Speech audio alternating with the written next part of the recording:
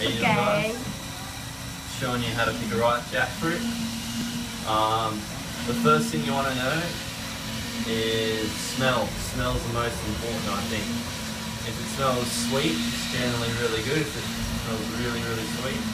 But sometimes it can smell like pretty off, like fermented and stuff, so you don't want to pick one that's like that.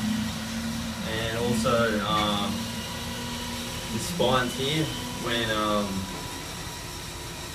touch it like that, there should be no latex, no latex at all, no latex. Alright. And um, yeah, that's basically it. And when you um, rip it open, you can rip it open by hand, and there should be no latex at all. And it should be really sweet. So here we go. I'll open it up for you by hand. Part the